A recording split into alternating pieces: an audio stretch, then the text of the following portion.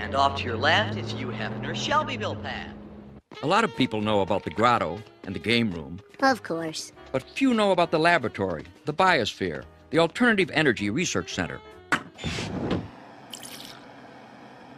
Fascinating. Desalinization plant? Yes, the grotto uses so much water. The bunnies felt we should go this way. Smart bunnies, Hef. I can't call you Hef, can't I?